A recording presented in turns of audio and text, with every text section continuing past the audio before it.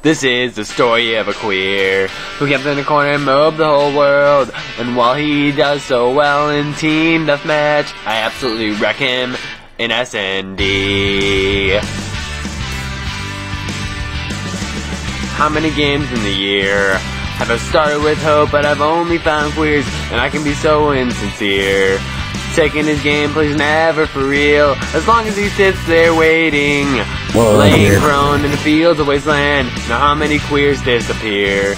When you go to play Black Ops, so how do you choose? Your claymores never work as well the next day, and your frags never fall in quite the same way. You never seem to run out of shit to say. This is the story of a queer who gets in the corner mows the whole world. And while he does so well in team deathmatch, I absolutely wreck him in SND.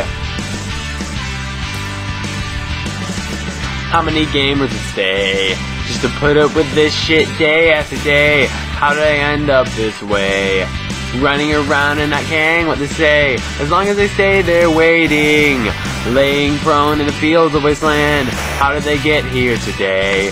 When they're trying too hard for the price of the game. Your claymores never work as well the next day, and your frags never fall in quite the same way. You never seem to run out of shit to say. This is the story of a queer who gets in a corner mowed the whole world. And while he does so well in team deathmatch, I absolutely wreck him in SND.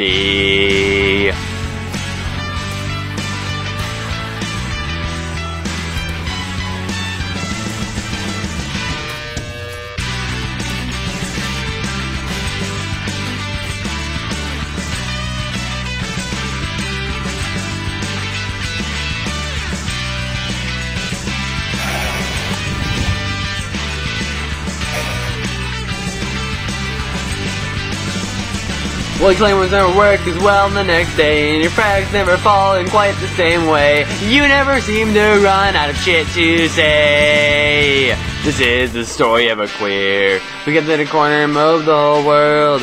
And while he does so well in team deathmatch, I absolutely wreck him. This is the story of a queer who kept in a corner and mowed the whole world. And while he does so well in team deathmatch, I absolutely wreck him. This is the story of a queer who kept in a corner and mowed the whole world. And while he does so well in team deathmatch, I absolutely wreck him in SND.